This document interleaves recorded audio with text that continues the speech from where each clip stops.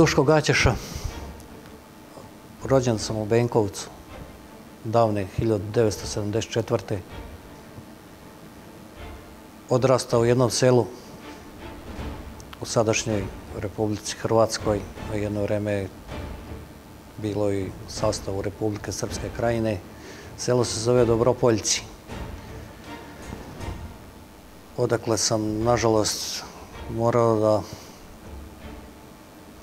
kao i svi drugi, da kažem, izašao sam u egzodus, u takozvanoj ustaškoj akciji Oluja, 95. I od tada sam živeo u Srbiji.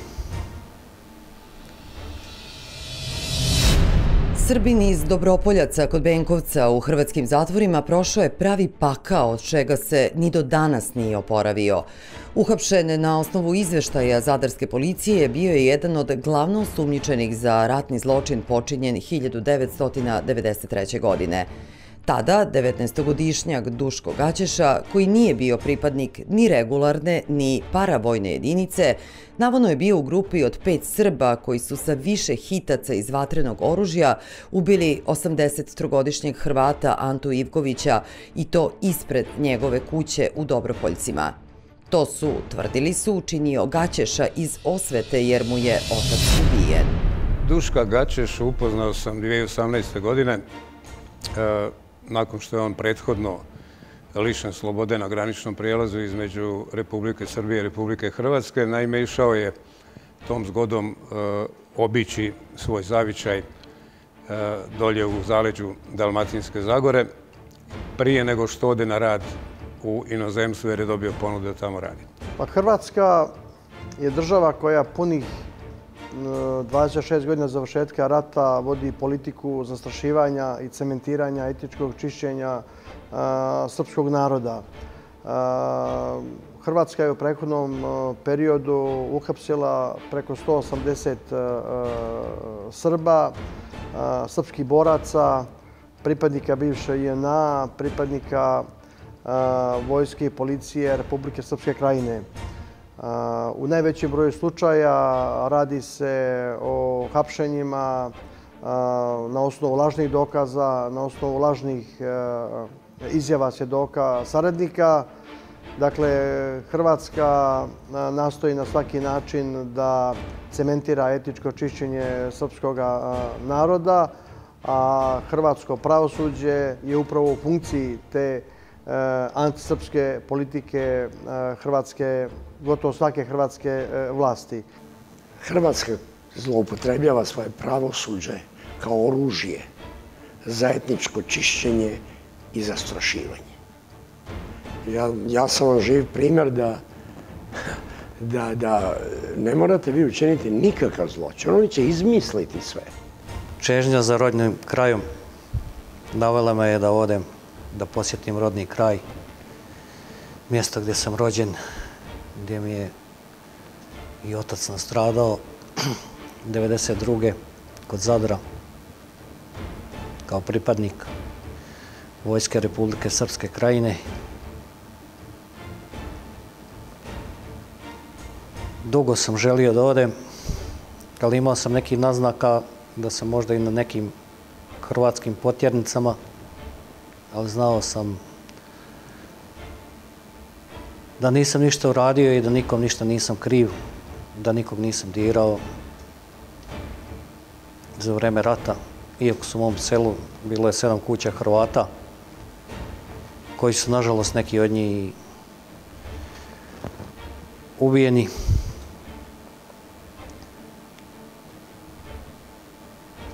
Što ja stvarno ne znam ni od koga, ni od čije ruke, a znao sam za sebe da ja nisam učestvao u tim ubistvima, iako su mi govorili oj rođaci, prijatelji, da nije pametno da idem jer je bilo svakakvih priča da sam se ja osvećivao za smrt oca koji je eto, poginuo 1992.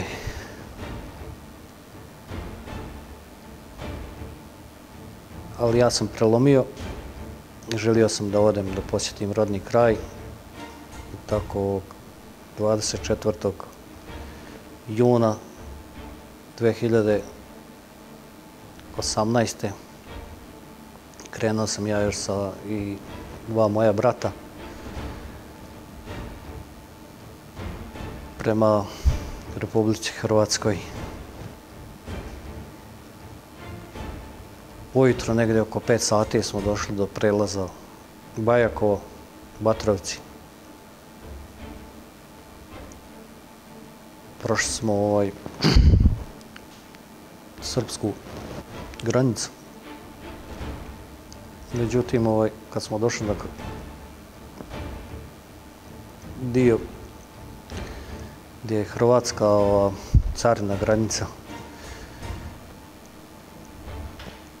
Zaustavili su nas, tražili su neki pretres, pa smo čekali nekih 15 minuta i onda su izveli, mene su izveli ovaj,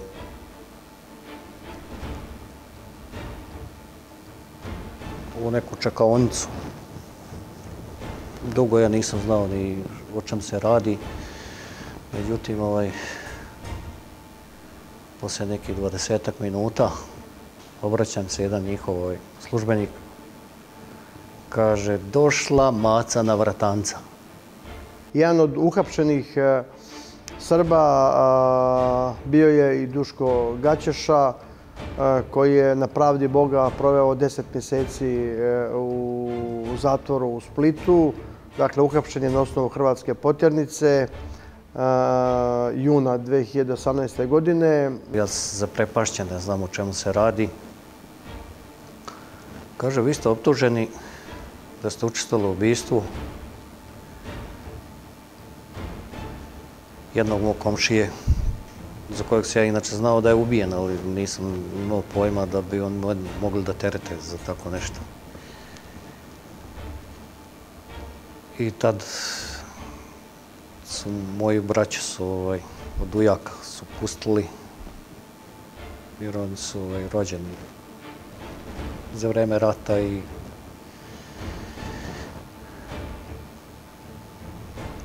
mnogo su mlađe generacije od nas koji smo imali tu nesreću da živimo u, ratno, u to ratno vreme.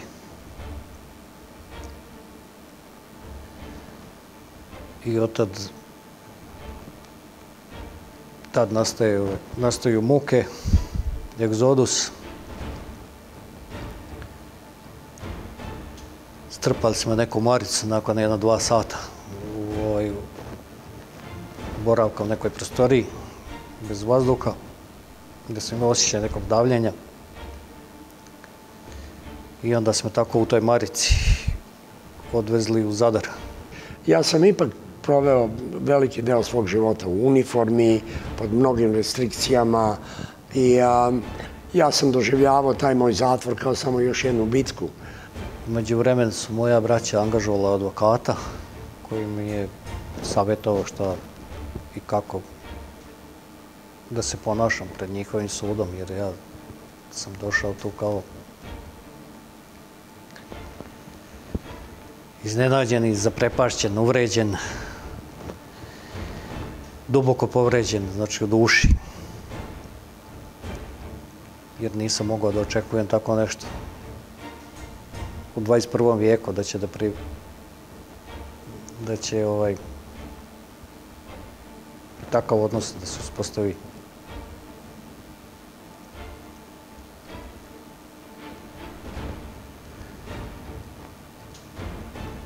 E onda su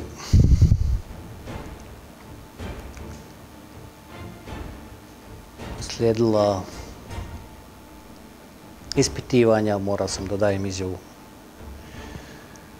pred sudom, pa sam bio u nekom zatvoru. To večer sam prespavao sa 24. na 25. i ujutru su me odveli u zatvor u Splitu gdje na moje veliko iznenađenje čekalo me još Srba u toj prostoriji gdje su me smjestili. Bili su oficiri bivše INA i još jedan ovaj, koji nije imao veze sa Hrvatskom i krajinom, neki Jorin iz Izraela. Mene je ubedio i kad je mene ubedilo, to je bilo dovoljno. Ja sam rešio koliko mogu, šta god mogu iz zatvora, da, tamo da sam se nalazio. I a, ja sam u, a, u mom pravnom timu nalazi se Hrvat. Brzo sam shvatio da Srbin koji te brani u Hrvatskoj, to je odmah autogol. A, nisam baš siguran da, da bi i šiptarski advokat možda u Beogradu bio autogol za nekog šiptera koji treba da ga brani, ali budite sigurni da je u Hrvatskoj sto puta gore. Tako da u razgovoru sa mojom pravnicom koja je Sapkinja, mi smo donali odluku da za onog advokata koji će da, da stoji, da me brani tamo, da to ipak treba da bude Hrvat. Ona mi je rekla, kaže, kapetane, ja mogu desnu ruku u vatru da stavim za ovog čoveka, bez obzira što je Hrvat. To je jedan častan čovek, jedan pravnik, profesionalac koji će da brani pravo tvoje. Bez obzira, mislim da on nema u sebi da on nema u sebi nikakvu mržnju ni prema kome. On jeste Hrvat, on je hrvatski branitelj, učestvovao je u ratu zato što je bio mobilisan, branio svoju državu kao što, što se i očekuje od nekoga da to radi ali sigurno nema nikakve mržnje prema mi smo prijatelji, znamo se dugo vremena i ja sam prihvatio to. Normalno, nisam ja ba samo prihvatio tako. Imam ja neke prijatelje u Srbiji koji su na mestu gde mogu da provere nekoga. Poslali smo te upite, proverili smo ga sa svih strana gde smo mogli. I ja sam bio zadovoljan da pred sobom imamo jednog častnog advokata. Ja sam seo sa Filakovićem i e, zamolio sam ga, bukvalno sam ga preklinjao, rekao sam imam cimere sada u, u, sobi, ja sam, koliko sam siguran u svoju nevinost, toliko sam siguran i njegovu nevinost. Molim te, prijatelju, a, ja, on kaže, jao, kapetane, ja stvarno imam previše slučajeva, evo, nakon što sam uzao vaš taj slučaj, javili su još neki Srbi i ja to, ovaj, ja radim za nje, bojim se da neću moći da se kažem, molim te, ovo ti ako ne uzmeš, taj čovjek nikad neće izaći iz zatvora. Ne samo to, nego on je i psihički već stradao, već se pokazivali tu simptomi jednog stresa, jednog užasnog stresa. On nema neku jaku podršku s polja, za njega se ne zna, on nije poznata ličnost, a živi sa majkom, tako da mislim, ako ga ti ne uzmeš, on će umreti u zatvoru. Ja sam stvarno to verovao kad sam rekao. I Filaković je prihvatio to da radi i uh, uspio je kasnije da ga izvuče. Ali međutim, a, šta, bi, šta je još bitno da, da, da razumemo, a, isti advokat koji je pre Filakovića branio Duška, bio je u mom timu. I taj isti advokat je mene ubiđivao da, da ne možemo da, da nastupamo tako da ja nisam kriv, jer dobit ću 20 godina. Rekao, ne priznaje nešto bilo šta, pa će ti oni dati da, pokriješ to vreme koje si proveo tamo, jer ako ne budeš priznao, dobit ćeš, ako, ne bude, ako budeš išao sa tim pričom da, da niko nije maltretiran, da niko ne... Ja kažem, slušaj prijatelju, ja ti dajem časnu reč da na tvrđavi niko nije smeo da opsuje Hrvata, ne da je Bože da ga udari ili da ga maltretira.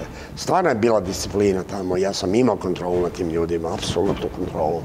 I nije, nije bilo šanse da, da tako nešto mogu da se dogodi.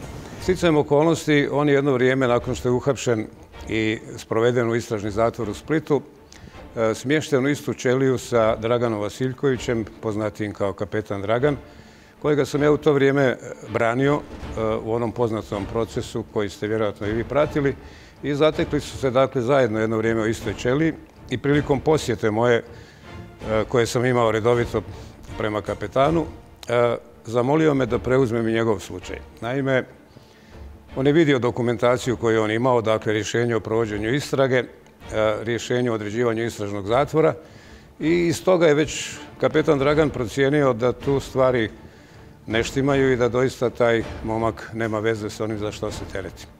Zamoli me da preuzmem taj slučaj i ja sam dakako udovoljio prijedlogu svog tadašnjeg klijenta, kapetana Dragana, i preuzeo sam. Kada sam pogledao spis, utvrdio sam da se sumnjići za dijelo koje je počinjeno 1993. godine u drugom mjesecu, u neko gluho doba noći, e, kada je navodno sa nekoliko drugih osoba pripadnika e, paravojnih jedinica e, upao u kuću jednog sumještanina, mislim da mu je prezile bilo Ivković, e, starog nekih 83 godine i usmrtio ga zajedno sa ostalim pucajući iz vatrenog oružja. Sam kapelja Dragan se lično angažao e, vezano za njegov slučaj. Duško Gaćeša se našao u veoma teškom zdravstvenom stanju, što je potpuno razumljivo kada čovjek bude uhapšen i provede 10 mjeseci zatvora, apsolutno bez ikakvih dokaza, dakle optužen da je tobožao učestvovao u ubistvu njegovog komšije u jednom selu kod Benkovca u Dalmaciji, što je apsolutna laž i izmišljotina. To je bilo vreme nakon presude, moje presude. Ja sam tada bio u Bilicama, kod Splita, i doveli su Duška Gačeša. Prvo je bio smešten u, sa neka tri, četiri oficira bivše, vojs, bivše JNA sa kojima ja nisam imao dobro odnose. Nisam imao dobro odnose, ali moj princip odbrane se daleko razlikovo od njihovih. Svi su se oni dogovorili, priznali krivicu za kako bi dobili umanjenu kaznu. Ja sam bio protiv toga i žestoko sam se suprostavio tome, baš. Smatrao sam da je to neka vrsta izdaje, jer oni ne shvataju da takvim svojim činom povlače za sebe možda još desetine drugih Srba. Naprimer, šta znam, jedan oficir JNA, na, da, ne, da ga ne reklamiramo ovde, koji je bio zapovednik broda koji je granatirao navodno Zadar, priznajući krivicu, on je osudio čitavu posadu, jer i oni su saučesnici u tom zločinu, razumete? O, za neku umanjenu kaznu ili za tako nešto. To je užasan osjećaj, znači naći se ovaj, u ovaj zatvoru po prvi put.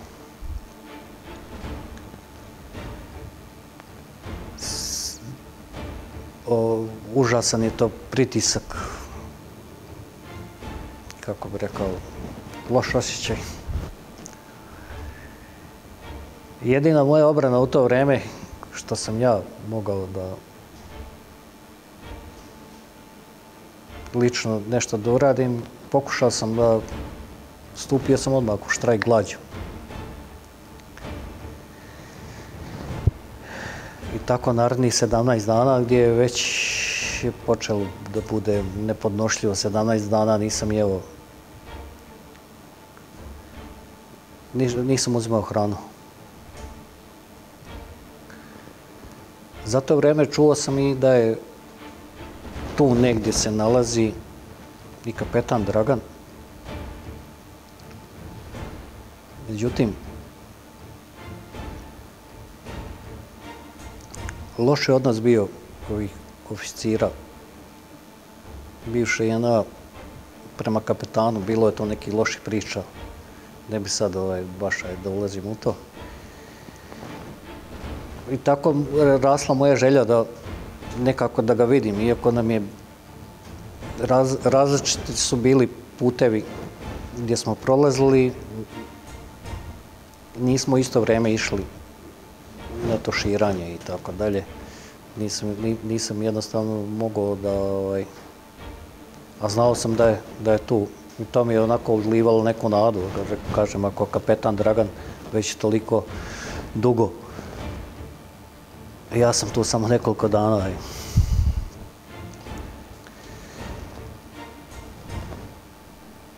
I onda kreće baš neki užasni dani gdje su cimeri iz ćelije na sve načine pokušavali pošto sam ja bio tu šesti, njih je bilo pet, oni su smatrali da njima tjesno i onda ovaj, su na sve načine pokušavali da me istisnu iz, iz te ćelije.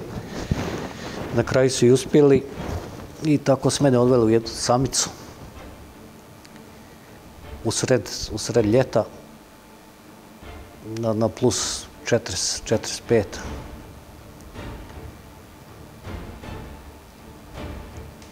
A, ajde kažem, neka pogodnost bila tamo, bilo je nekih ventilatora, ja nisam ni to imao, a plus toga su mi zatvarali vrata, nije bilo ni promaje. I tako sam bio neki desetak dana i onda je kapetan čuo da sam ja tu i on je onda isto ovaj, tražio da se ovaj, nekako vidimo i na kraju smo eto nekim zajedničkim snagama smo uspjeli ovaj, nekako da nas smjeste u istu sobu, ćeliju ili već kako bi nazvao. Kad je došao kod mene u ćeliju, prvo, prvi, prvo smo se sreli na šetnji.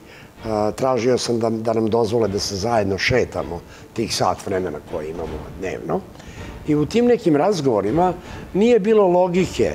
Prvo shvatio sam da on ima tek 19 godina u ono vreme, da još nije bio. Drugo, iz razgovora sa njim ja sam shvatio da je Duško u stvari antimilitarista, da on uopšte nije jedan od onih gang-ho, ne voli oružje, nije, ne voli uniformu, nije bio, nije bio taj uh, neki nasilni tip ili tako nešto.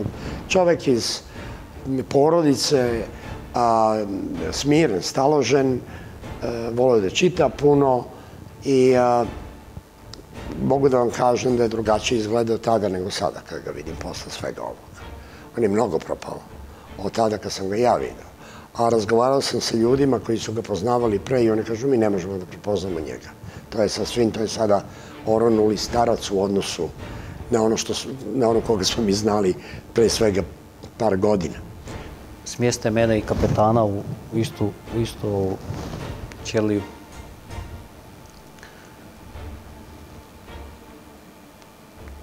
I onda smo tako mnogo u čemu razgovarali. kapetan mi je putio kroz neke spise kako da sa, sa neke pravosudne perspektive da posmatram najprije njegov slučaj, pokazivao mi je šta se sve dešava i onda smo razmatrali šta se sve dešava u mom slučaju, pa smo listali papire, gledali neke sitnice koje ja uopšte ne bi ni zapazio. Kapetan mi je kazao kako da kako da se postavim da bi to sve bilo malo jasnije. I onda na moje zaprpašćenje nađem tu milion mali milion, da je kažem pretjerano malo, ali iz tih izjava navodnih tih svjedoka u mom slučaju, kako se to ništa ne poklapa, kako to zvuči, sve to zvuči čudno. Uspeo je da mi na šetnji doturi neke njegove papire, te mm, eh, optužnice i to što je imao eh, istra, istrage, eh, iz istrage, pardon, nije on imao optužnicu.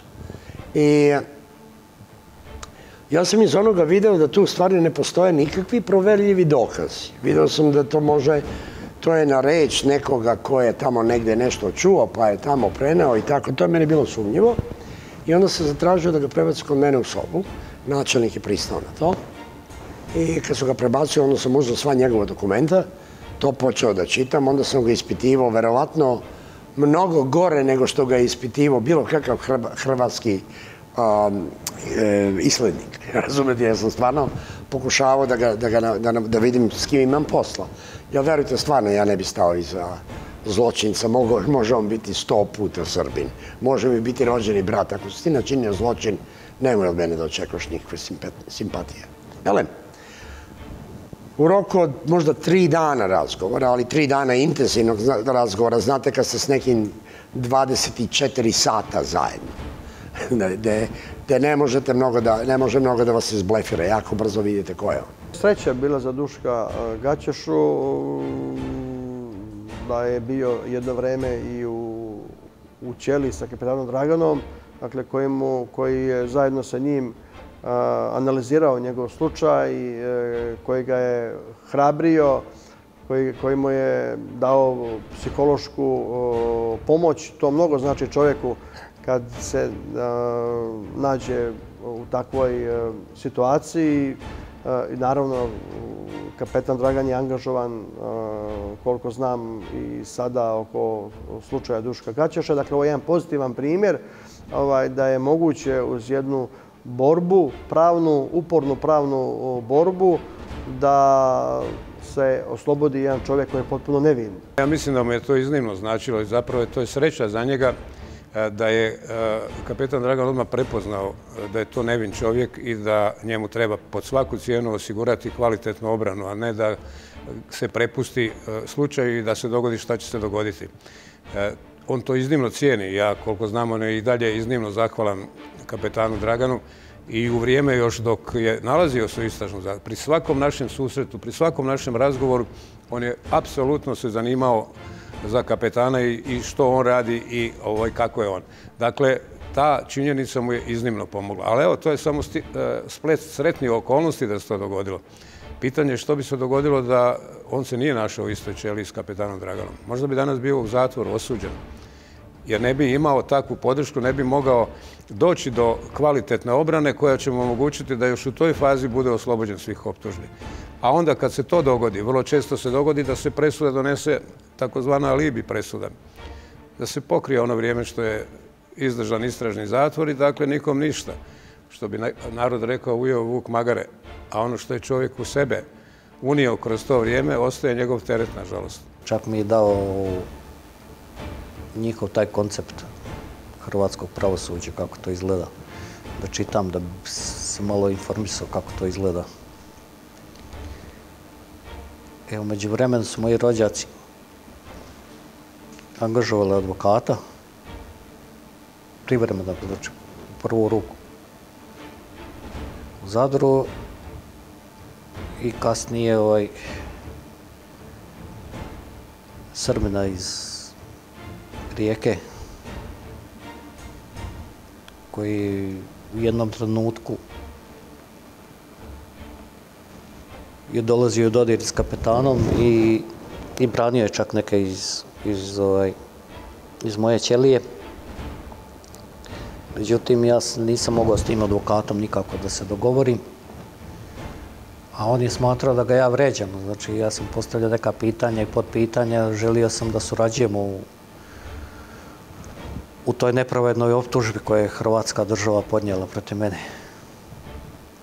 I na kraju na kraju ovaj, se desilo da smo raskinuli ugovor. I na insistiranje kapetana Dragana angažovao sam advokata iz Hrvatske, iz Osijeka. Tomislava Filakovića,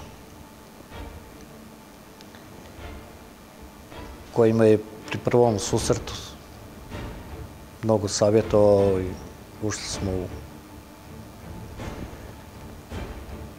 vezano za, za te istražne radnje. Mnogo, mnogo smo pričali o tom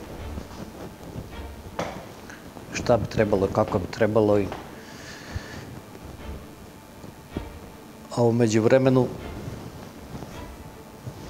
među vremenu ovaj, je ovaj bivši advokat već potegao nešto da se uradi pred srpskim pravosuđem. Jer ja za vreme tog ubistva nisam čak ni bio u mom selu. Jer krajem 1992. sam otišao bio u Banja Luku na studiju elektrotehnike. I onda ponuđen, ponuđeno je da se pojave svjedoci koji će da, koji su bili za to vreme u selu da svjedoče. Ja sam shvatio da je taj čovjek nesposoban da načini ratni zločin. Stvarno mislim da, da on nema u duši sa on. Ja, ja sam siguran da on ne bi mačku mogo da ubije, kamoli čovjek. Prvo, on je jedan dobar čovjek, jedan, jedan a, čovjek koji pokušava da, da pomogne kome može. Pričam je o tom Hrvatu koji je ubijen. To je kaže starac bio jedan, on je bio umetnik, on je sliko. Ja sam njega voleo. A, moj otac je poginuo u srpskom minskom polju. Znači, ako sam ja bio kivan i da sam svetim nekom, to bi bili Srbijani i Hrvati. Ne, nema razloga, nema, nema logike, nema motiva da bi ja ubio nekog. Pogotovo ne godinu dana kasnije, jel tako? Koliko sam ja razumeo, taj čovjek je ubijen kad je krenula operacija Maslanica. Veliki broj dobrovoljaca je došao u krajinu. Tu su bili od, od zla oca i od gore majke neki, ne svi, svaka čast. Bilo je tu častnih ljudi i dobrovoljaca koji su došli da se bore tamo, ali bilo je i ovih drugih. I onda tražili su Hrvate, kad najđu na Hrvata, izvršio zločin. A, tako da on stvarno nije imao nikakve veze s tim, čak nije ni bio tu kad se to dogodilo.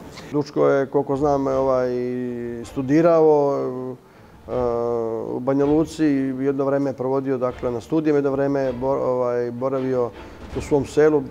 Koliko znam, nije bio pripadnik ni eh, hrvatskih vojnih, paravojnih eh, formacija, ali to nije važno. To je najmanje važno.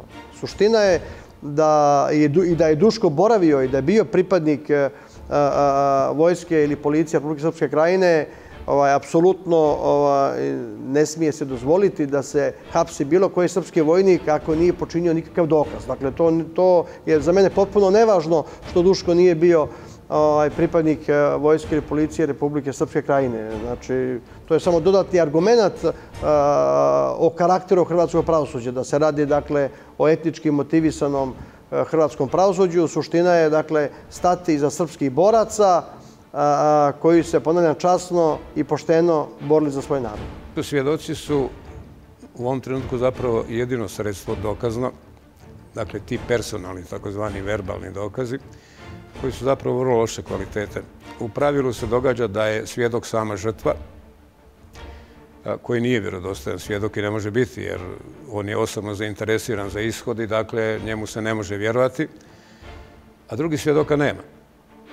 Kad se pojave drugi svjedoci, to su svjedoci koji su čuli od nekoga nešto pa sami zaključuju, a u njegovom slučaju se pojavio jedan nevjerojatan svjedok koji je zapravo dao povod za postupak koji je protiv njega pokrenut. Koji je, gled čuda, zaključio, zaključio po svom nekakvom razmišljanju i nahođenju, a to je iznio u svom iskazu, kako bi on mogao biti jedan od odgovornih za smrt tog čovjeka iz razloga što je on to zaključio po tome kada je njegov otac stradao, njegov otac je stradao u Minskom polju koje je bilo postavljeno oko sela, koji usput rečeno su oni postavili sami, dakle, jer tada nije bilo protivne strane tamo. Nesrećom je stao na nekakvu od tih mina i stradao. Pa je nekakav seoski samozvani vojvoda na njegovoj sahrani rekao da će oni osvetiti njegovu smrt. I pazite, to je sad na jednom bio zaključak kod tog svjedoka da bi on mogao biti taj, iako on to nije rekao, nego netko treći, iako to nema nikakve veze sa tim događajem. Dakle, vrlo su opasni ti takvi svjedoci, ali on je bio povod da ovaj postupak krene. Srećom, pojavili su se drugi svjedoci koji su pružili argumentaciju i dokaze, a koje smo pronašli u Srbiji, da su to druge osobe za koje se pouzdano zna njihova imena i tako dalje, i to je upravo skrenulo e, ovoga cijeli postupak u pravom smjeru i dovelo do njegove, njegovog oslobađanja svake optužbe. Dakle, e, ti svjedoci su, nažalost, nužno zlo i jedino dokazno sredstvo, to je loše.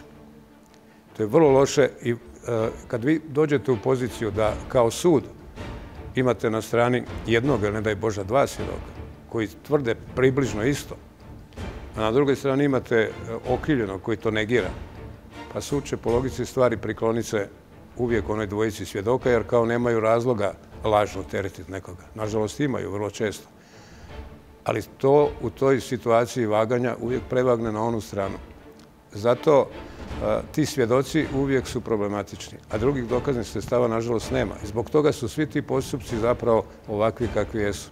Jer se sve temelji na tim svjedočkim iskazima koji nisu nikad do kraja provjereni i definirani. I onda ti svjedoci koji su svjedočili protiv mene, to su dva brata Hrvata. Jedan od njih je penzionisani pukovnik Vojske Srbije, a drugi je njegov brat. Umno i mentalno zaostao. A njegovo svjedočanstvo je bilo glavno.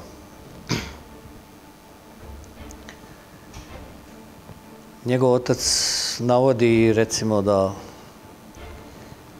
kako su od njih svi se sklanjali pošto su bili Hrvati, a on kaže vezano za moj slučaj da i za sve ostale ove druge slučajeve, jer bilo je tu još nekih ratih zločina. Njemu je mnogo ljudi pričalo o čak 11 ubica, on sve je to čuo. Kao da je ovaj, najmilju ruku Sherlock Holmes.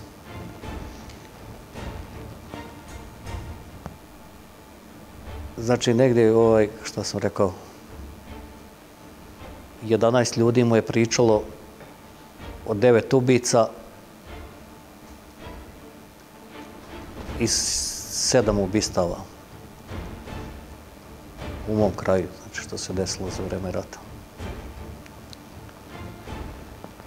A glavni dokaz je, poznato je da je, citiram sad, znači poznato je da je Duško Gaćeša u to i to vreme u tom i tom društvu putem pogovora po selu. Glavni dokaz je putem pogovora po selu. Što bi rekla ovdje u Srbiji, rekla kazala. Mi, nažalost, u Hrvatskoj, e, kao ni u Sarajevu, nemamo nezavisno, profesionalno, nepristrasno pravosuđe. Dakle, to su etnički motivisana pravosuđa u funkciji cementiranja etičkog čišćenja srpskog naroda s jedne strane i u funkciji opravdavanja lažnog mita o srpskoj agresiji. U tom kontekstu, dakle, hrvatsko pravosuđe uz asistenciju hrvatske policije, dakle, pronalazi ljude koji su spremni e, da lažno sjedoče protiv srpskih boraca. Dakle, radi se dakle, o ljudima koji su počinili nekakva krivična dijela i ovo im je prilika dakle, da putem lažnog svjedočenja dobiju manju zatvorsku kaznu ili se radi o ljudima koji su spremni za novac dakle, da svjedoče ovaj, protiv svojih nekadašnjih e, komšija ili prosto da kažu sve ono što im sugeriše hrvatska policija i, i, i hrvatsko, hrvatske sudije.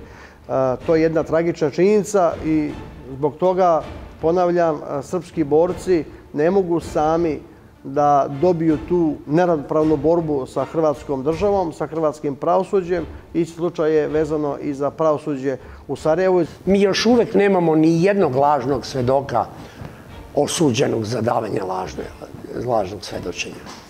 Nemamo ni jedan primjer. A toliko smo videli očigledno lažnih sledoka. Sjetite se i Šešiljevim, i Miloševićevom, i mom, i Duškom e, slučaju. Ima toliko tih, još uvek nažalost ne postoji takav sistem. A ja mislim da bi trebao da se uvede jedan zakon, ne znam ja da li mi imamo snage da to uradimo, da za onoga koji lažno optužuje treba biti kažnjen bar onoliko. Naprimjer, ako vas neko optuži za pedofiliju, taj lažno i dokazaš da on svesno vas lažno optužuje za to. Ja mislim da bi čovjek taj trebao biti kažen isto toliko koliko i pedofil. Bar toliko. I mislim da, da, da je to nešto što ja nisam pravnik, nisam u politici, nemam šanse da menjam zakone, ali nažalost to ne postoji. I lažni svedoci dan danas žive, uživaju blagodeti, uživaju jer su vas prodali negde, uživaju dobio ne, a, a oni jadnici koji, koji, protiv kojih je taj ložno svedošenje e, uspelo, njima je život uništen i niko ne odgovara na to. zašto to radi hrvatsko pravosuđe, zašto to radi ovaj, pravosuđe u Sarajevu. Pa iz razloga da se također opravda jedna bezočna laž izmišljotina da su Srbija, Srbi i JNA tobože bili agresori na Hrvatsku i Bosnu i Hercegovinu, a da su da je Hrvatska i da je da su muslimani tobože vodili obrambene oslobodilačke ratove protiv srpskog osvajača. Dakle, e, zato Hrvatska hoće dakle, da e, donese što veći broj lažnih presuda i da to bude jedan od krunskih dokumenta da opravdaju svoju brutalnu laž izmišljotinu o velikosrpskoj agresiji. Tamo da je Duško bio, to je u stvari pritvor. To je istražni zatvor. I tu ležite dok se ne podigne, dok se, dok ne bude presuđeno. Kad vam je presuđano, onda idete u Lepoglavu. To je taj zloglasni četnički logor. Razumete, gde drže četnike, nas. A moje iskustvo je verovatno drugačije nego njegovo. Kažem vam, možda zbog moje prepoznatljivosti, možda, ali ja stvarno u odnosu šta mogu da očekujem u nekom zatvoru, ja mislim, na primjer, da je meni bilo daleko, daleko lakše tamo, nego što je Zvezdanu Jovanoviću, na primjer, u Srbiji. Bio sam jako Zvezdana, razgovarao sam sa njim i mislim da je njemu daleko teže tamo nego što je meni bilo. Govorim, ne, dobro, Zvezdan Jovanović zna da neće biti ubijen. Mislim, sigurno. Zna da ga niko neće fizički maltretirati. Zna da, da ne, ga niko neće otrovati. Ali a, to, je, to je ono što možda da je on u povoljnijoj situaciji nego što sam ja. I, a, ali a, taj njihov odnos za vreme dok sam bio, bez obzira na moje sumnje i, i, i sve ostalo, bio je izuzetno korektan. Mislim da nisu mogli da mi daju ništa više nego što su mi dali. Ne znam šta je to što su mogli da urade drugačije. Pa nisam ja imao neki strah. Jer po prirodi nisam plašljiv, ali svašta, svačemu čovjek razmišlja. Jer dešavalo se, recimo, mene su optužili da sam psovao majku, načelniku zatvora, i onda sam morao drugi dan da idem na briefing ovaj, kod tog načelnika. Pa mi kaže, šta bi ti, kaže, kako bi izgledalo da sam ja Beograd Beogradu u zatvoru i da psujem četničku majku. A lažno me nabijedi jedan njihov stražar. Iako sam ja nešto i psovao, ali nisam baš ovaj načelnika, psovao sam neke druge ovaj, njihove tu stražare. Međutim, ono je to preokrenuo i kaže, ovo je psova načelnika dešavalo se ovaj, jedno, a što neće nikad zaboraviti, nije prositi. Neće prositi ništa od istog perioda, ali ovo je posebno pogodilo ovaj, ličnost. Jedan od tih me, u stvari njih dvojica su me ovaj, uvukli u neku ćeliju, koja je inače prazna svo vreme i jedan me udario tri puta. Jedan od tih stražara.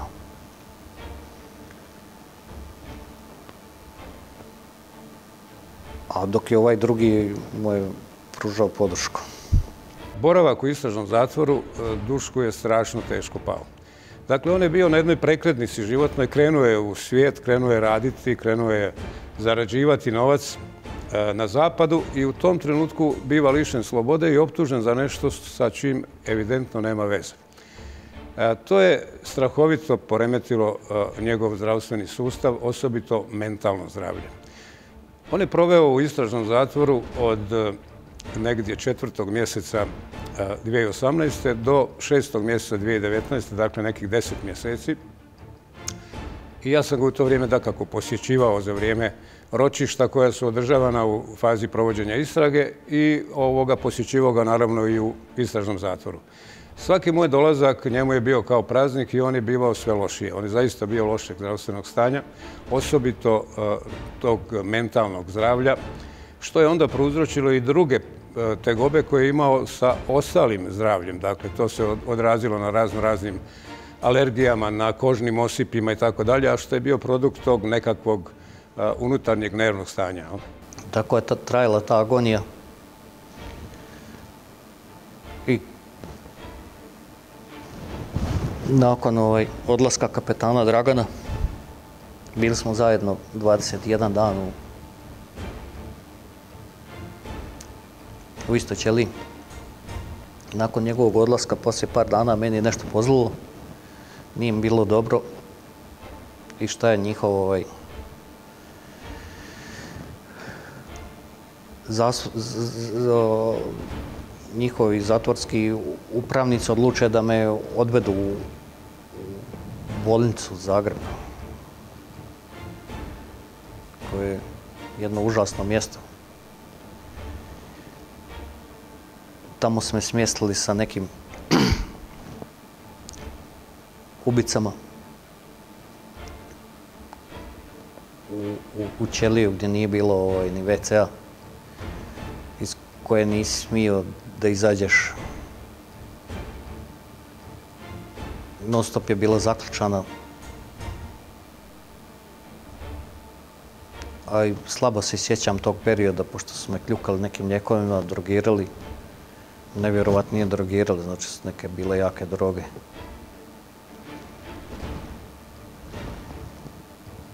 I nakon 15 dana su me vratili iz Zagreba u Split opet. A kažem opet, znači, za tih 15 dana jako se loše sjećam bilo kakvih događanja. Najviše sam bio uspavan. E, kad smo me vratili, onda smo smjestili s nekim englezima, od kojih jedan bio narkoman, težak nasilnik. Znači, taj mi dosađivao na, na svakom koraku.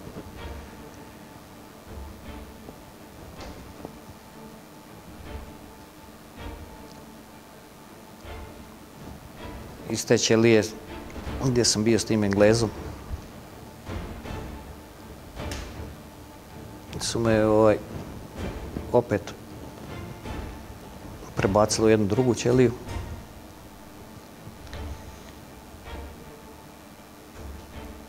u kojoj su doveli isto neke naše ovaj, Srbe iz krajine,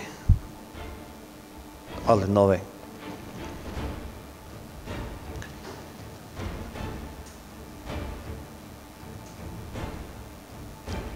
tu sam ovaj negdje u 11. mjesecu.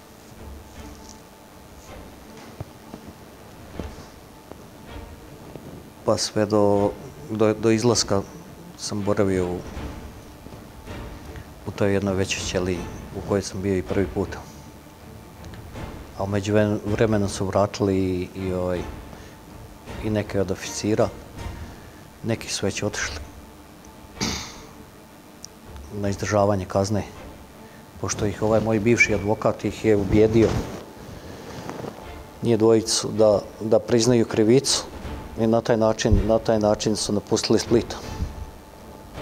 Što je on kroz neke skrivene razgovore pokušao da nudi mene, ali ja vidio iz moje reakcije da ja nisam ovaj, ja ne mogu da priznam nešto što, što, što nisam učinio. A s druge strane, kad su u zatvoru, ne, možda, ne možeš da znaš šta te čeka.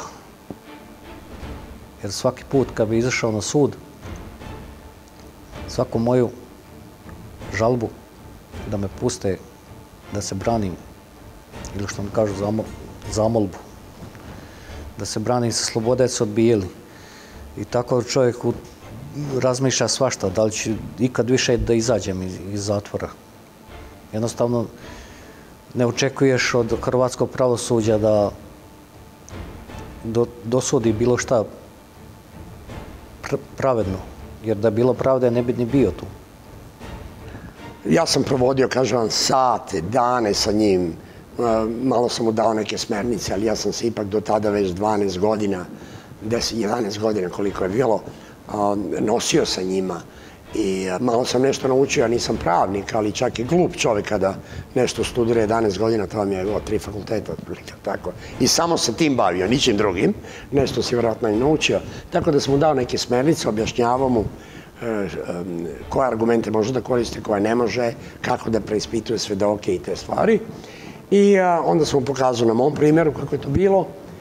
I mislim dok sam ja bio tamo, Duško se povratio i ja sam video ogromnu razliku između prvog dana kad smo se sreli i onog dana kad sam odlazio. On se baš povratio i počeo je da izgledao je mnogo bistri, izgledao je e, sređeniji i e, čak smo počeli da učimo i engleski i tako u tom nekom slobodnom vremenu. I kad sam ja otišao ubrzo nakon toga, on se, on je pao depresiju opet, razbolao se i završio je.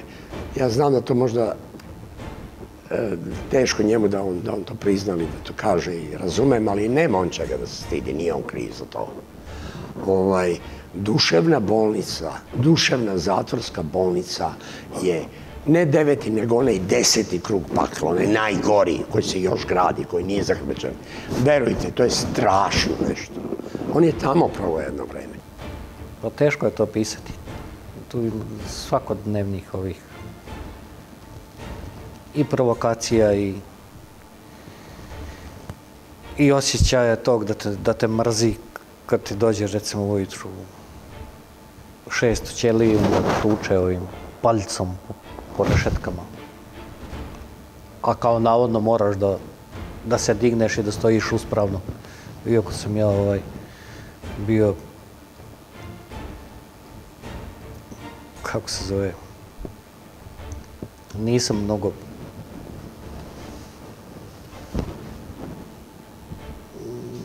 nisam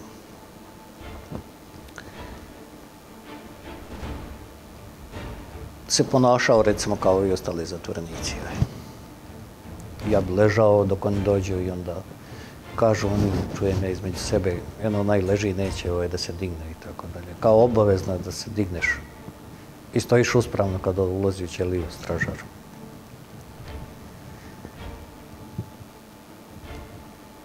Onda kroz razne provokacije ovaj, dođe ti neka pošta, onda to ne stiže do tebe. Tražiš nešto, nije ti omogućeno. Tražiš nešto da kopiraš, to jedva dobiješ poslije 3-4 dana. A trebalo je već negdje da ode, razumiješ, ako se žuri. Ali naj, naj, najgori utisak i nešto najgore je bilo u ovoj zatvorskoj bolnici u Zagrebu, u Svetošimonskoj. To je stvarno pakao. Ne daj Bože nikom da... Ne kažem i za ove druge, znači svima je tu jednako. Ali stvarno jedno užasno mjesto toliko prljavo, nehigijenski, nemogući uslovi za tuširanje. Užas. Dok nije ni u ovom zatvoru nešto, Bog zna kako čisto. To na kraju sam zaradio neku boleštinu od tih prljavih tuševa. I to zadnji dana prije nego što sam trebao da izađem iz zatvora. Ovaj, i dobio sam neki herpes zoster. Dugo nisam znao šta je. Nisu, nisu ni oni ti njihovi ljekari mogli da utvrde. Jako me pritiskao i ležao sam jedna desetak dana, nisam mogao da ustanem iz kreveta. Takvih e, slučajeva, kao što sam rekao, ima veoma mnogo e, i zbog toga e, govorim u javnosti da bi bilo veoma važno i značajno da država Srbija daleko aktivnije e, i snažnije stane iza srpskih boraca, iza srpskih e, veterana e, predlagao sam i predlažem da država osnoje jednu posebnu državnu instituciju, kancelariju za pomoć osumničenim, optuženim i osuđenim Srbima za ratne zločine. Cilj te kancelarije bi bio prije svega da pruža stručnu, pravnu i financijsku pomoć srpskim borcima koje progledni ne samo hrvatsko pravosuđe, nego i muslimansko pravosuđe da pomogne da skinu ljagu ratnog zločinca sa sebe. Svi postupci su bili bez mog prisustva. Postupke je vodio advokat. Ovaj, prvobitno advokat iz Rijeke, a kasnije ovaj, iz Osijeka, Filaković. A mene su odvodili na sud e, samo da mi produže pritvor. Svaka dva mjeseca su mi produžavali pritvor.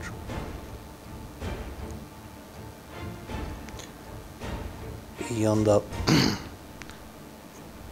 kad konstantno produžavaju pritvor, onda se zapitaš koliko, koliko mogu tako.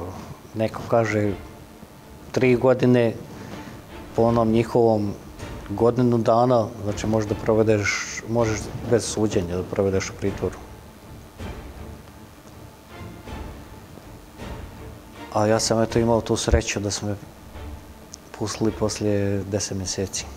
I samo da se razumemo, ja ne stojim iza toga da mi pomognemo ni jednog kriminalca, ni jednog zločinca da izbegne kaznu bio on sto puta Srbin.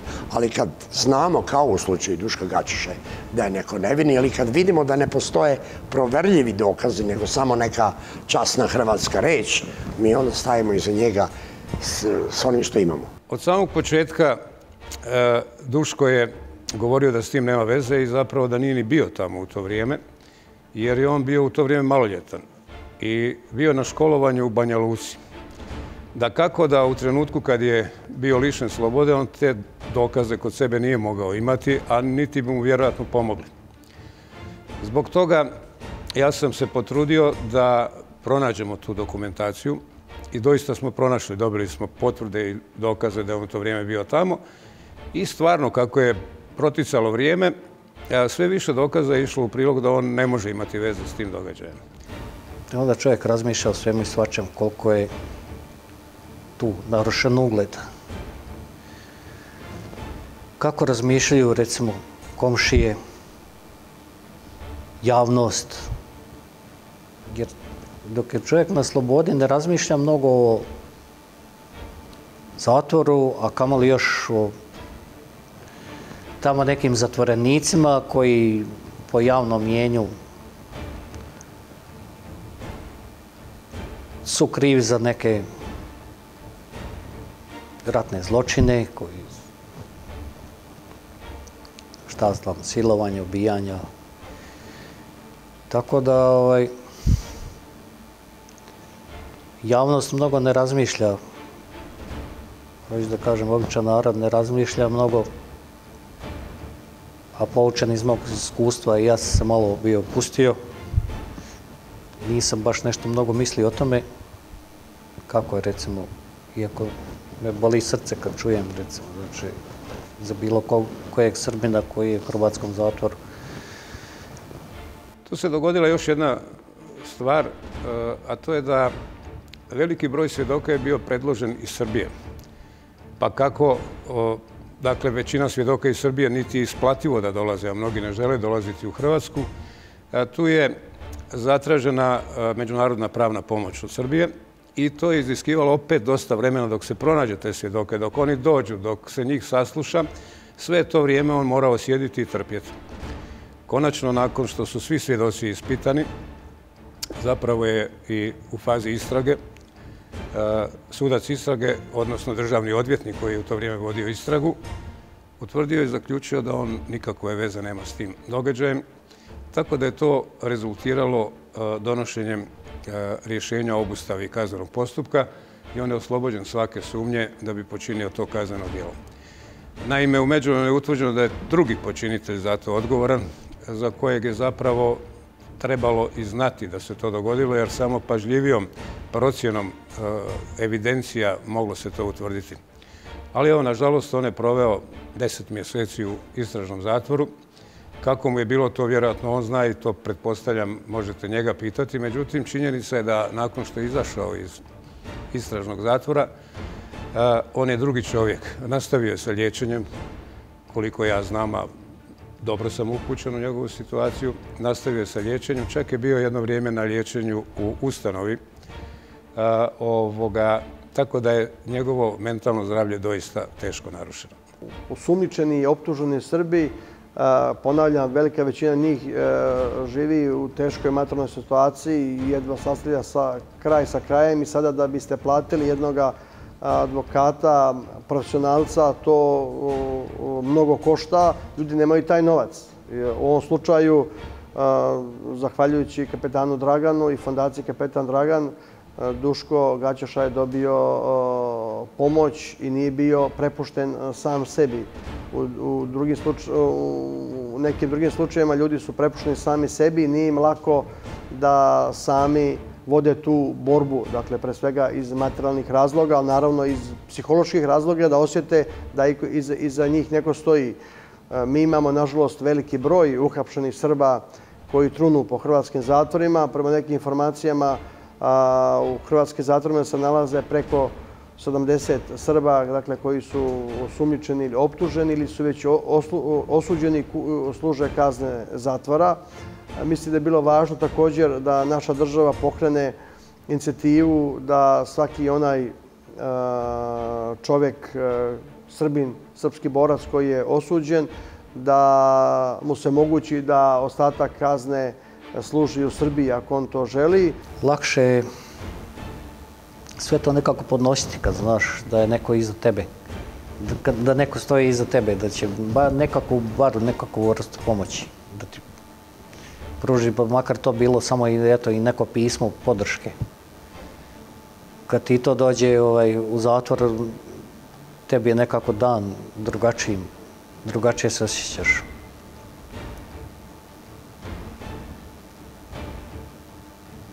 A da ne kažem, eto, jer ti kad si u zatvoru ne možeš da radiš, ne možeš da pridonosiš. Nekako se osjećaš se neispunjeno, znači ne možeš ne možeš do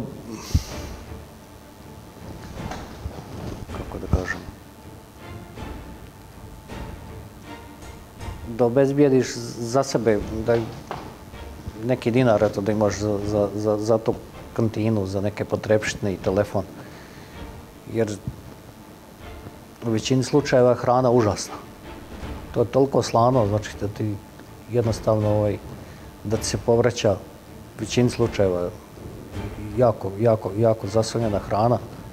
Jedino ko traži neko dijetalno, a to je onda opet katastrofa isto. Treba im pomoći na svaki način. Mislim da i domicilne države trebaju pomoći tim ljudima. E, ja uvijek kao jedan e, svjetao primjer kako to treba činiti, ukazujem na primjer upravo e, postupka kapetana Dragana, odnosno Dragana Vasiljkovića. Tu je država Australija odigrala fenomenalnu ulogu. Dakle, oni su bili prisutni sve vrijeme suđenja. Njihov ambasador je dolazio iz Beča na rasprave, sjedio, pratio i što je još važnije, oni nijednog trenutka se nisu uplitali, niti u stručnost obrane, niti su pokušavali utjecati na ishod postupka, ali su svom državljaninu osigurali sredstva za najbolju obranu po njegovom izboru. To je vrlo važno. Vrlo je važno da čovjek ima e, saznanje da neko stoji iza njega, da mu omogućava da nađe najkvalitetnijeg odvjetnika po vlastitom izboru, nego da mu se dodijeli odvjetnik po službenoj dužnosti koji će to raditi ovako ili onako ili neće nikako raditi. Dakle, to je iznimno, iznimno važno za čovjeka koji se u toj poziciji nađe. Mislim da bi to trebalo, jer neće država time učiniti ništa protivno, ni ustavu, ni pozitivnim zakonima, jer logično je da se neće plesti niti smije u postupke koji se vode u drugim državama pred drugim pravosudnim tijelima. To nitko ne očekuje od njih ali nekakvu vrst ovakve pomoći je nužno dati. Omogućiti mu da ima najkvalitetniju obranu, osigurati mu sredstva da to ostvari.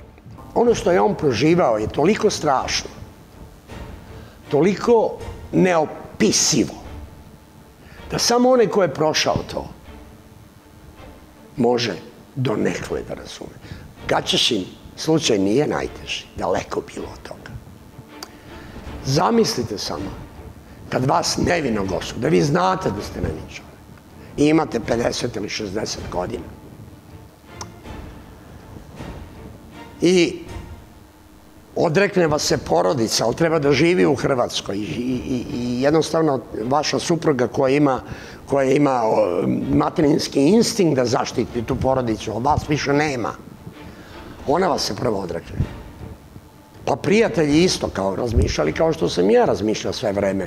A da ima, da imam, ima i vatre, nije baš tako, ne može to, ipak tri nivoa sudstva, znaš i tako dalje. Mi se odreknemo tih ljudi i oni ostanu sami. Mislim da je veoma važno da Srbija, odnosno da naše tužilaštvo za ratne zločine konačno počne da radi svoj posao i da počne da pokreće istrage i da podrže optužnice protiv svih pripadnika hrvatskih, muslimanskih i albanskih vojnih i paravojnih policijskih informacija koji su činili masovne, brutalne, siripe zločine protiv našega naroda. U prekodnih 17 godina djelovanja i rada našeg tužilaštva za ratne zločine, dakle od 2003. do kraja 2020. godine, podignuto je 217 optužnica, od toga čak 190 ili skoro 90% protiv Srba, 21 optužnica protiv Albanaca, četiri optužnice protiv muslimana i dvije optužnice protiv Hrvata. Dakle, ta struktura, nacionalna struktura optuženih lica od strane našeg tužilaštva za ratne zločine pokazuje da naše tužilaštvo nije učinilo gotovo ništa na prociranju brojnih zločina ovaj, koji su počinje protiv srpskih e, civila i ratnih zrbljenika.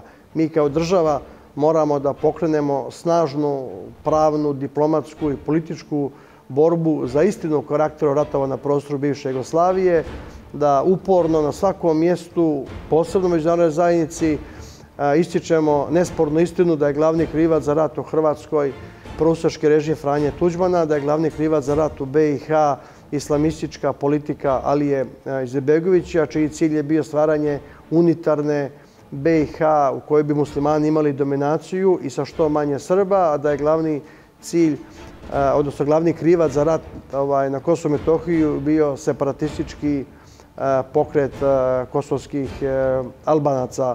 Dakle, važno je voditi tu borbu da su Srbi na području bivše Jugoslavije vodili oslobodilačke i obremene ratove, da nisu bili nikakvi osvajači e, i agresori. Dan, znači 23. su oni napisali ovaj njihovi ti ovaj, pravosudni organi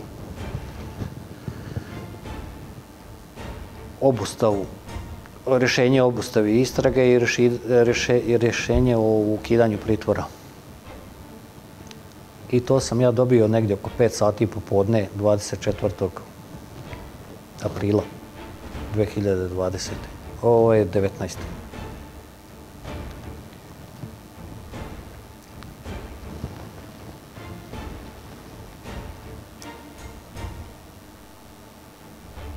Ali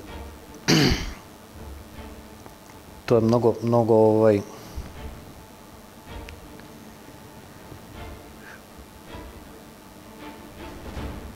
osjećaj je nevjerovatan. Znači, ovaj, kad sam vidio tak, taj papir, što kažem, ono, sunce iznova sinulo. I... Međutim, jako su perfidno. Znači, u neko vreme, u pet sati, moraš da izađeš. Znači, imaš rok od 15 minuta da se spakuješ i da napustiš zatvor.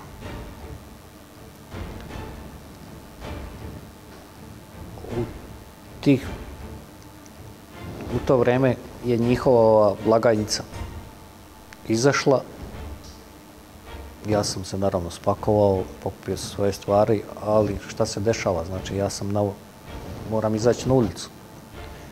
I u tom trenutku ja nemam nikakva sredstva kod sebe, znači ne mogu ni da krenem nigdje, ni vozom, ni autobusom, ni taksijem, ni katastrofa.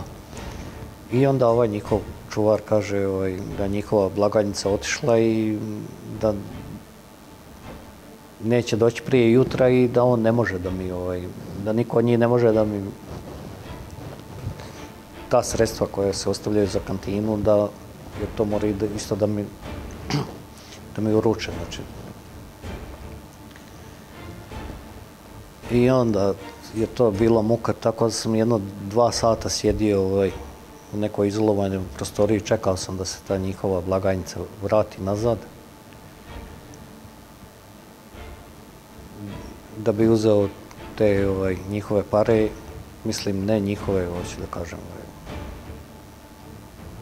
njihove u smislu što ih zovu kune, ovaj, a kune su bile za vreme Ante Pavelića.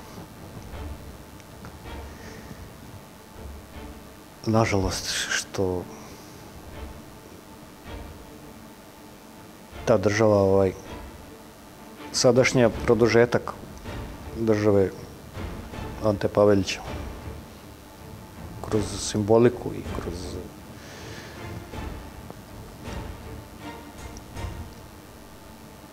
zadržali su sva obelježja, ali su nadogradili sve što je radio Ante Pavelić. Oni sad uspjeli kompletno da očiste Republiku Hrvatsku,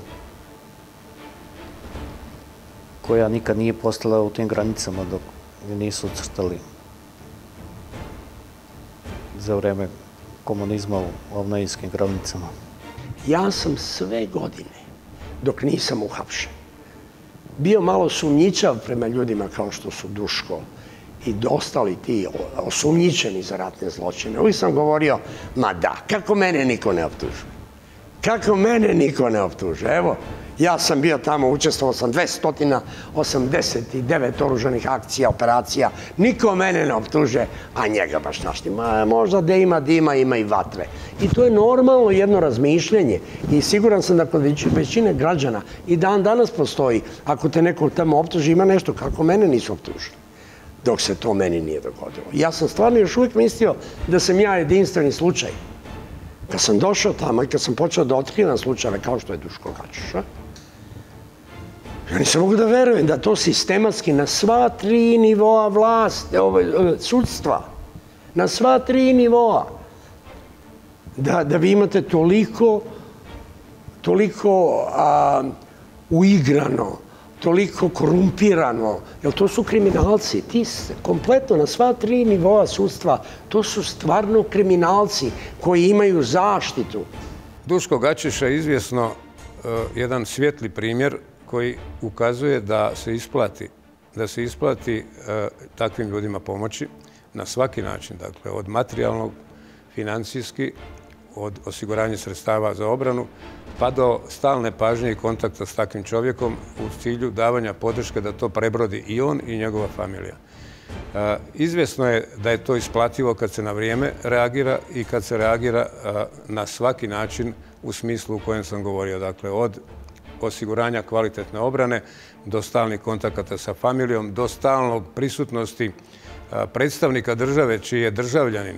Dakle, da čovjek shvati da nije napušten, da su svi uz njega, da uz njega i familija i njegova država i da ima mogućnosti da dobije najbolju obranu, a ne da bude prepušten sebi i onome što će se dogoditi, a da ne može utjecati na to.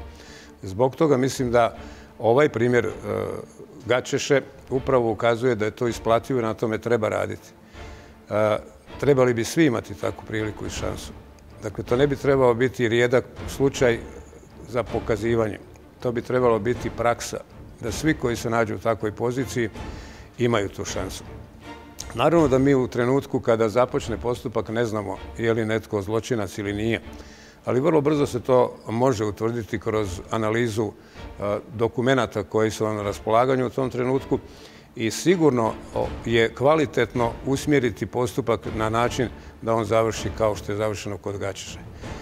E, ja s ove strane e, apeliram da se e, uvijek povede računa o takvim ljudima.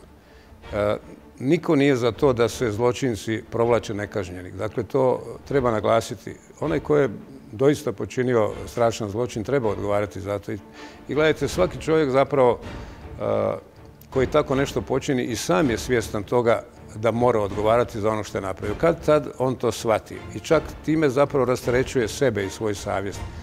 Međutim, oni ljudi koji izvjesno nisu to učinili, to se prepoznaje na početku i njima treba pomoći. Znači, ne traži, ne traži se uh, podrška i pomoć onima koji su skrivili i koji su doista to napravili, nego ljudima koji to doista trebaju, jer evidentno nisu. Ja sumnjam da bi iko ko je ozbiljno eh, ogriješio se o zakon, a ne da je Bože nekoga usmrtio, eh, civila, nenaoružanog dijete, da bi čekao 30 godina da netko dođe i pokuca mu na vrata i da završi u istražnom zatvoru sa neizvjesnim ishodom koliko godina će provesti još u zatvoru. Dakle, tu treba prepoznati uvijek slučajeve koji se moraju na ovaj način popratiti da ne završi tragično po čovjeka. Bilo je teško i porodici. Ovaj. I oni su čekali svaki dan, svaki moment da se javim. Premda to nije bilo moguće. Jako je ograničeno to ovaj, korišćenje telefona. Na 10 minuta svake sedmice. I onda se to brzo potroši. A prinuđen si da zoveš po njihovim ovim standardima i cijenama koje nije, su nimalo jeftin. Prvo ja nisam gledao na to. Zahvaljujući ovaj, eto, moje rodbini, mojim ujacima prvenstveno, i moje braće od ujaka, koji su mi omogućili ovaj,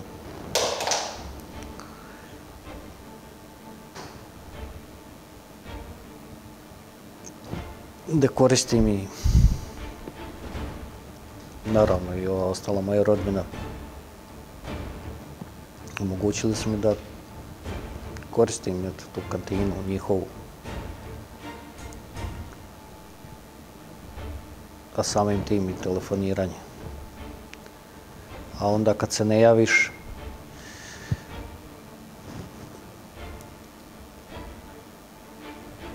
bude jako teško, jako teško i rodbini ako se ne javiš.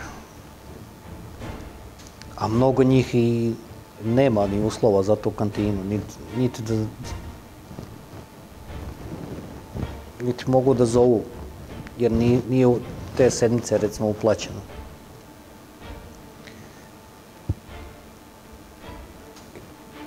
A ovo, dok rodbina, recimo, to doživljava na drugačiji način, ne znaju šta se sve tu dešava. Iako se ja na neki način bio zaštićen, jer u odnosu na one prve slučajeve kad su bili u Lori gdje su prebijani, mučeni, ubijani. U, ovim zadnjim godinama to više ne smiju da rade zbog Evropske unije. Jer...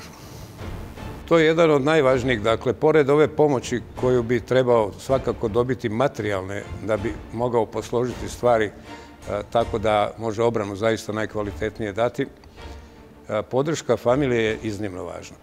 E, nerijetko, zapravo gotovo u pravilu, ako se to otegne i protegne na godinu ili više dana, te veze jednostavno pucaju. Članovi familije se plaše prvo, plaše se reakcije javnosti, e, plaše se kako će to završiti. Dolazi do jedne nesigurnosti i u konačnici to zapravo završava tragično. Raspadaju se familije. To je bukvalno e, postalo pravilo. E, zato je iznimno važno da, a svakčija obitelj, familija, ako ima sigurnost, ako može biti u kontaktu sa svojim članom familije i osigurati mu sve pogodnosti koje može uz podršku materijalnu, e, onda će to i ostvariti. Ako se to ne dogodi e, u pravilu, dakle to iz iskustva govorim, e, evo, nedavno je jedan od od mojih klijenata izišao iz istražnog zatvora čak i bez jamčevine i brani se sa slobode u daljem toku postupka zbog proceduralnih propusta koji su se dogodili, pa, pa je mu omogućeno to. On je sad u poziciji da nema od čega živjeti, a na slobodi je. Jer u međuvremenu se raspala familija. Supruga više mu se ne javlja, prekinula svaku vezu s njim. Dakle, dolazimo evidentno u poziciju da e, čovjek bukvalno propadne kao čovjek, kao osoba propadne i definitivno to loše završava. A onda završava loše i za familiju, za obitelju. Definitivno, jer ako vam glava familije propadne, onda će i cijela familija propasti. Vidite, e, Duško život je stvarno uništen. Nije to isti Duško koji je bio prehapšen. To je strašno. Ja, ja se nadam da će Duško imati snage da izdrži. Oni su mu već ponudili. samo da napomenem, Duško je jedini Srbin koga smo mi uspeli, ili taj pravni tim, Telaković, Čanković i, ti ljudi koji su u, pravnom timu fundacije uspeli da izvuku.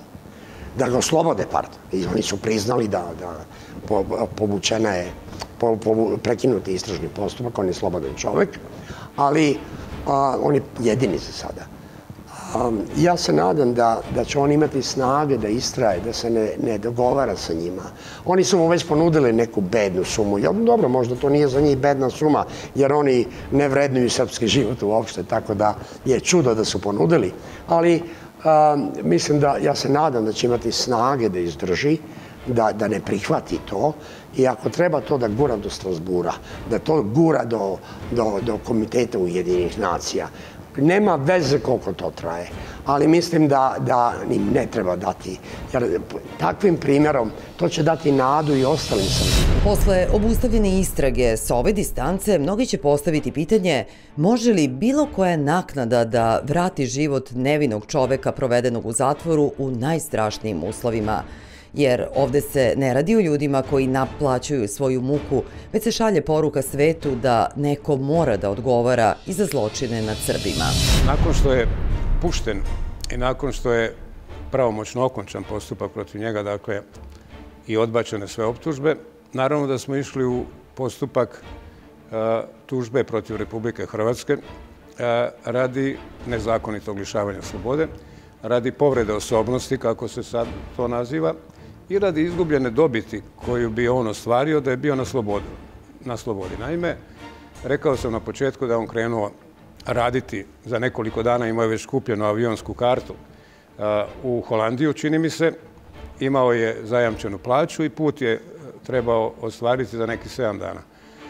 Sve to sada potražujemo, obzirom da u Hrvatskoj se, a pretpostavljam da je tako sada i u Srbiji, prije nego se krene u tužbu i postupak protiv države, mora ići sa zahtjevom za mirno rješenje spora.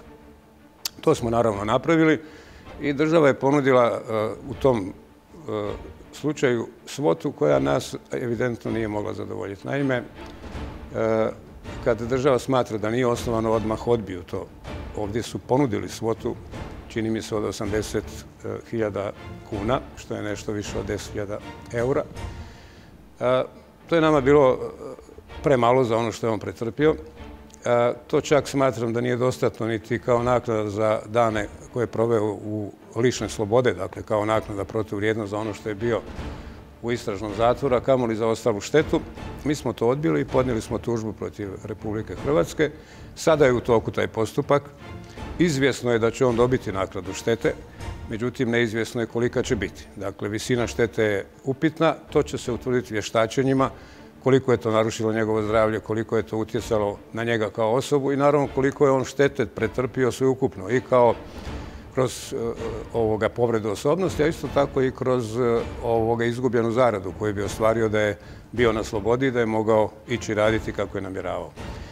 E, dakle, očekujem da do kraja ove godine ćemo imati prvostupanjsku presudu. Za pretpostaviti je da će se država žaliti, jer državu zastupa državno odvjetništvo, bez obzira kakva ona bila i koji iznos bio utvrđen, jer čim nisu prihvatili, nije prihvaćen iznos od koji su oni ponudili, izvjesno je dakle da će se žaliti. Pa, tako da je izvjesno da to skoro vrijeme neće biti gotovo i da on neće doći do neke satisfakcije materijalne za to što je pretrpio, barem još sljedećih godinu i pol, dvije, dok to prođe drugi stupanj, a moguće da završi i na trećem stupnju, obzirom da je riječ o predmetima u kojima je država tužena i gdje ona treba nešto platiti. Nikakav novac ne može nadoknaditi tih deset mjeseci e, koje je on proveo u zatvoru u Splitu. Dakle, mogu da zamislim e, u kakvom se stanju nalazio Duško Gaćeša kada, vas, kada krenete e, posjetu svom selu u Dalmaciji, kad vas na pravdi Boga uhapsi Hrvatska policija na osnovu poternice, na osnovu potpuno izmišljenih e, dokaza i kada vi boravite u zatvoru, e, a znate da ste potpuno nevini. Ali, ali ipak to bi bila kakva takva satisfakcija za Duška Gađešu, jer koliko znam, on je trebao ubrzo posle posjete svom selu da ide e, na rad u inostranstvo. Dakle, on je tu konkretno ovaj, izgubio e, posao koji je bio unapred e, dogovoren. Tako da mislim da je važno da se Dušku pomogne da makar dobije nakladu štete za tih nepravedno deset mjeseci koje je proveo u Hrvatskom zatvoru. Hrvatski ti organi su meni uništili život. Znači, počevši od počevši od svih dešavanja kroz rat, a kroz Oluju, takozvanu akciju Oluja, redarstvenu, koju oni ovaj, slave.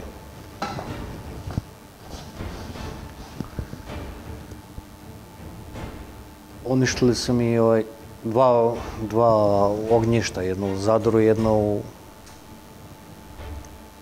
u selu u kojem sam živio.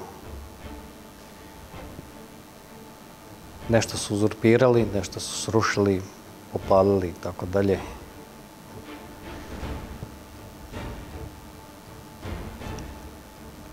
Tako da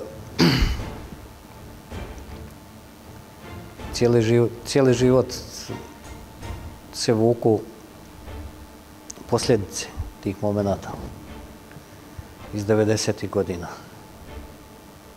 I dan danas ja nisam riješio svoje stambeno pitanje.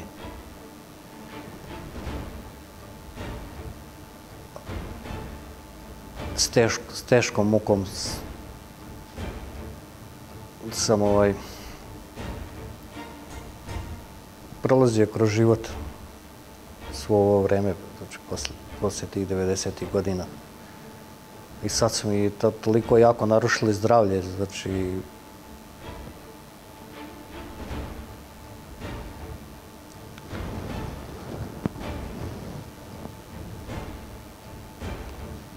kad se osvrnem na sve te momente što su posljedice tih, tih droga u, kojim su me drogirali u Zagrebu, a i kasnije nastavljeno to u Splitu, kroz obavezno moranje o, pijenja terapije. I poslije pola godine sam ovaj, završio u bolnici, zahvaljujući svemu tome. Tako da se bio ja, jako razbolio i preko pola godine sam ovaj, uravio u bolnici. I sad sam ovaj, u procesu nekog oporavka. I jako narušeno zdravlja, što direktno utiče znači, na radne sposobnosti. A sem toga i na nesređen život.